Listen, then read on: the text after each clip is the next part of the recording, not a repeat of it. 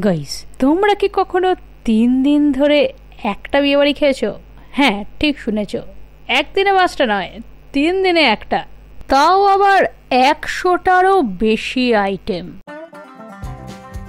So guys আবার অনেক দিন পর চলে এসেছি আরেকটা বিয়ে বাড়ির ভিডিও নিয়ে। ইয়েস বিয়ে বাড়ি উইদাউট ইনভিটেশন মানে ক্যাটারিং প্রমোশন আজকে এসেছি সুইট অ্যান্ড শার ক্যাটারিং এর ইনভিটেশনে এই ক্যাটারিং সার্ভিস এত আইটেম করে, এত খাবার করে, এত এত এদের মেনুস থাকে আর এত সুন্দর ভেনুস থাকে যে একদিনে কি মন ভরে হ্যাঁ?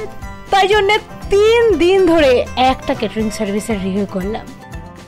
সো চলো গাইস আজকের ভিডিওটা একদম জমজমাট হতে চলেছে। তার জন্য স্টেট টিল দিয়ে সো চলো স্টার্টার দিয়ে স্টার্ট করি। প্রথমে ঢুকে গেলাম কাবাবসের খনিতে। হ্যাঁ নানান রকমের কাবাব। দেখতে পাচ্ছ কি সুন্দর লম্বা লম্বা ঝুলছে এগুলো kebabs. Chicken reshmi kebab, hariyali kebab, tikka kebab, Amritsari kebab, chicken tangri kebab seekh kebab, সব লাইভ কাউন্টার কাবাব বানানো হচ্ছে, গরম গরম আর সার্ভ করা হচ্ছে। আমার তো সব থেকে ভালো লেগেছে এখানে গোল্ডেন ফ্রাইড প্রন। এই চিংড়ি মাছের আইটেমটা আমার খাওয়া সেরা সেরা। এখানে ভেজ কাবাবসেরও অনেক রকম অপশনস পাওয়া যায়। তো তোমরা কাস্টমাইজভাবে তোমাদের মেনু ডিসাইড করতে পারো। কি বলো তো এই সবুজ জিনিসটা যেটা আমি খাচ্ছি হ্যাঁ ঠিক ধরেছ, সেই ফেমাস ভাইরাল গন্ধরাজ মোমো। আর তার সাথে ছিল নানান রকমের স্যুপ তো বেসিক্যালি বিয়ে বাড়িতে গিয়ে স্যুপ খেয়ে পেট ভরানোটা আমি পছন্দ করি না। আমার ভালো লাগে না। কারণ তোমরা সবাই জানো বিকজ মাটন খেতে হবে ইয়েস এবার চলে যাব একটু চাট কাউন্টারের দিকে। একটা সুন্দর চাট কাউন্টার রয়েছে। দেখতে পাচ্ছ এখানে কি সুন্দর চাট বানানো হচ্ছে। তোমরা সবাই জানো চাট আমার নিজের খেতে ভালো লাগে না। লোকজনকে দিতে ভালো লাগে।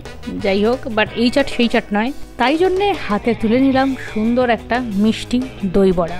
বাট দই বড়াটা খেতে কিন্তু বেশ ভালো লেগেছিল। এক্সপ্রেশন দেখেই বুঝতে পারো তোমরা কোনটা কীরকম খেতে। এক্সপ্রেশনই সব বলে আমার। বিয়ে বাড়িতে যদি ফুচকা স্টল বসে, তাহলে কিন্তু ফুচকা খাওয়া মাস্ট অ্যাটলিস্ট দু চারটে ফুচকা খেয়ে নিতে হয়। তোমরাও কি বিয়ে বাড়িতে গিয়ে ফুচকা খাও? তাহলে কমেন্ট সেকশনে গিয়ে জানিয়ে দাও। আজকে আমার এই সুন্দর লুকটা ক্রিয়েট করেছে পাপিয়া রয়েস মেক ওভার তোমরাও যদি পাপিয়ার কাছে সাজতে চাও তাহলে লিঙ্ক দিয়ে দেবো ডেসক্রিপশনে কন্ট্যাক্ট করতে পারো। ভাই বিয়ে বাড়িতে গিয়ে ফলকে খায়? হ্যাঁ এত হেলথ কনসিয়াস কারা হয়? আমি জাস্ট দেখতে চাই। যদিও ফ্রেশ ফ্রুটসগুলো কম লোভনীয় ছিল না। কেউ পয়সা উসুল করতে চাইলে খেতেই পারো। এখানে গরম গরম চা আর কফির আয়োজনের কোনো ত্রুটি ছিল না বাট তাও আমার মনটা ককটেল মকটেল মকটেল ককটেল করছিল।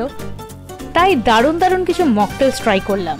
দেখতে পাচ্ছ কি সুন্দর হাতে নিয়ে ঝাঁকাচ্ছেন আর ঝাঁকিয়ে ঝাঁকিয়ে মকটেলস বানাচ্ছেন লাইভ কাউন্টারে এদের কিন্তু ভালো ভালো মকটেলস আছে। আর রিকোয়ারমেন্টস অনুযায়ী ককটেলসও হতে পারে। পুরোপুরি ডিপেন্ড করে এগুলো ক্লায়েন্ট রিকোয়ারমেন্ট অনুযায়ী। আরে, না না, আগুন লাগেনি, রান্না হচ্ছে। লাইফ কাউন্টারে নানান রকম খাবার বানিয়ে গরম গরম হাতে দিয়ে দেবে প্লেটে করে। এখানে চাইনিজ মঙ্গোলিয়ান পাস্তা নানান রকম খাবারের লাইফ কাউন্টারের অপশনসও অ্যাভেলেবেল তোমরা তোমাদের বিয়ে বাড়িতে চাইলেই লাইফ কাউন্টার এরকম করতে পারো। বিয়ে বাড়িতে এসে যদিও চাইনিজটা খুব একটা পছন্দের নয় বাট স্টিল চাউমিনটা কিন্তু ভীষণ পছন্দের আমার।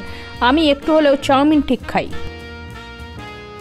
এখানে এদের চাউমিন অ্যান্ড চিলি চিকেনটা বেশ ভালো লেগেছিল বাট এখানে চিলি পনিরটা আমার সেরকম একটা ভালো লাগেনি। আমার চিলি পনির এমনিতেই খুব একটা ভালো লাগে না। এনিওয়েজ তোমরাও কি এরকম চাউমিন খেতে ভালোবাসো? জানাতে পারো কমেন্ট সেকশনে বাবা স্টার্টারে এই অবস্থা, তাহলে মেন কোর্সে কি হবে? এই সুইট অ্যান্ড শার ক্যাটারিং সার্ভিস কিন্তু মেনুতে অনেক রকম নতুন নতুন আইটেমের অপশনস দিতে পারবে। তো সেইটা একটা খুব ভালো পয়েন্ট যাই হোক, এদের মেন কোর্সেও কিন্তু অনেক রকম আইটেম ছিল, অনেক অপশনস আছে। লাইক নানান রকম ব্রেডস পাওয়া যায়, রুটি, লুচি, paratha rice pulao, biryani everything but আমার সব থেকে যেগুলো ভালো লেগেছে, সেগুলো আজকে মেনশন করব। রুমালি রুটি দিয়ে চিকেন ভর্তাটা আমার জাস্ট সেরা লেগেছে। এত দারুণ চিকেন ভর্তা কখনো খাইনি।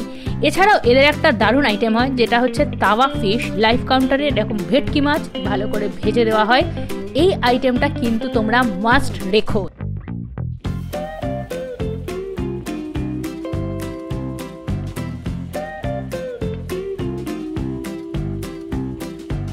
এছাড়াও আরেকটা আইটেম খেয়েছিল যেটা আমার মুখে এখনও লেগে আছে, সেটা হচ্ছে প্রন টিক্কা মশালা চিংড়ি মাছটার সেই টিক্কা কাবাবের মতন কাবাব করে সেটাকে ওই গ্রেভিতে বানিয়ে জাস্ট দারুণ খেতে লেগেছিলো। এটা তোমরা দেখো জাস্ট টেক্সচারটা মানে এডিট করতে করতে জিভে জল চলে আসছে, যাই হোক। এছাড়াও এখানে নানান রকম চিংড়ি মাছের আইটেম খেয়েছিলাম, ডাব চিংড়ি চিংড়ি মাছের মালাইকারি। বাঙালির কাঠি করার স্বভাবের জন্য চিংড়ি মাছের পেছনে কাঠি গোজে। এটা আমার বক্তব্য। তোমরা কি জানো, এরকম কোন অনুষ্ঠান বাড়িতে চিংড়ি মাছের পেছনে এরকম কাঠি কেন গোজে? জানলে কমেন্ট সেকশনে জানিয়ে দাও। হয়তো আমার প্রমোশন করাই কিছু ক্যাটারিং সার্ভিস বা রেস্টুরেন্টের ভেটকি মাছের পাতুরি নিয়ে আমার হালকা অভিযোগ থেকে থাকলেও আজকের এই সুইট শহরের কিন্তু ভেটকি মাছের পাতুরি কোনো অভিযোগ ছিল না। এটা কিন্তু বেশ ভালো লেগেছে খেতে। আর চিতল মাছের মুঠটাও বেশ ভালো ছিল। সো চলো গাইস এবার তো মাটন খেতে হবে।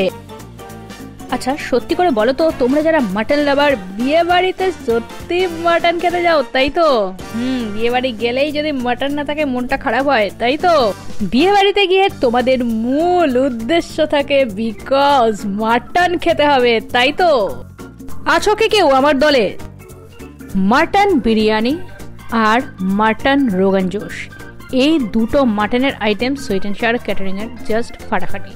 মাটন রোগান জোশ আমি আগেও খেয়েছি বাট এইখানের মাংসটা একবার দেখো জাস্ট ধরতেই গলে যাচ্ছে, ধরতেই গলে যাচ্ছে। এ কি? আরে দাঁড়াও দাঁড়াও, চুষবো চুষবো। এই নাল্লি না চুষলে তার মাটন খাওয়াটা ইনকমপ্লিটই রয়ে যায়। ওয়েট চুষতেই বেরিয়ে পড়ল মুখে। এবার মাটন খাওয়াটা কমপ্লিট হলো।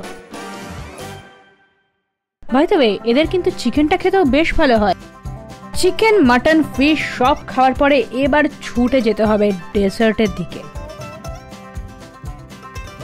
দেখতে পাচ্ছ কিরম গরম গরম মালপোয়া, জিলেপি ভেজে ভেজে দিচ্ছে সব, মিষ্টিরও লাইফ কাউন্টার থাকবে।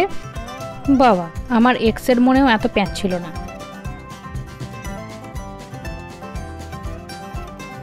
যাই বলো, আমার তো গরম গরম জিলেপি মালপোয়া খেতে বেশ ভালো লাগে।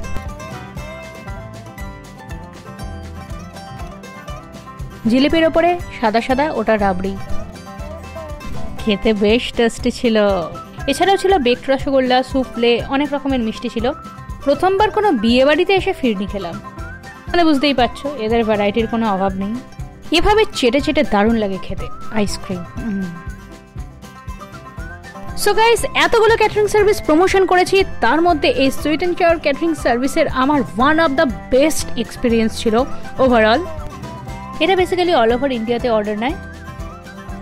তোমরা তোমাদের যে কোনো বড় অনুষ্ঠানেই এনাদের কন্ট্যাক্ট করতে পারো। কন্ট্যাক্ট ডিটেলস সব ডেসক্রিপশনে দিয়ে দেবো চেক করে নিও। আজকের বিয়ে বাড়িতে এসে আমার অনেক অবাঙালি ফলোয়ার্সদের সাথেও দেখা হয়ে গেল। এটা বুঝলাম যে কলকাতা ওয়েস্ট বেঙ্গল বাংলাদেশ ছাড়াও যারা বাংলা বোঝেন না ভালো করে তারাও পর্যন্ত ফুডি বাঙালিকে ফলো করে। আর কি চাই? Thank you so much thanks for following foodie Bangali